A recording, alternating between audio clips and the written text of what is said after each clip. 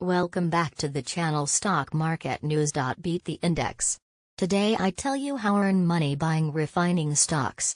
Gas costs have spiked to their most elevated level in more than 10 years, which could make more potential gain for these three refining stocks. Each of the names highlighted here presented strong outcomes to end 2021, and could keep on conveying as oil costs continue to rise. With regards to refining stocks, nobody is greater than Valero. With 15 processing plants in the U.S. Furthermore, Canada, Texas-based Valero is the biggest free purifier on the planet.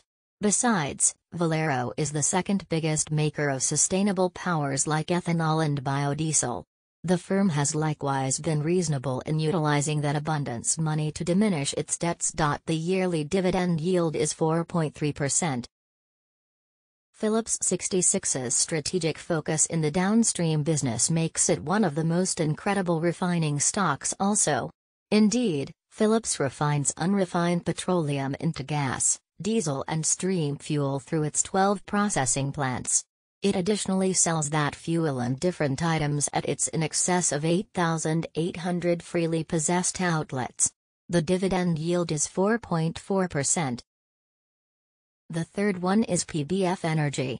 Today, the firm owns and operates six domestic oil refineries, with throughput of north of 1 million barrels each day.